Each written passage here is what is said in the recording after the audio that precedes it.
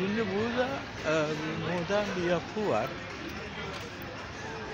E, genellikle kafe ağrısı. Tak kafe diye geçiyor burası. Tak kafe. Gayet değişik. Burada daha ziyade makarna menü 25 diyor mesela. Hamburger menü 25 diyor. Si- Sir Wilson'muş burası.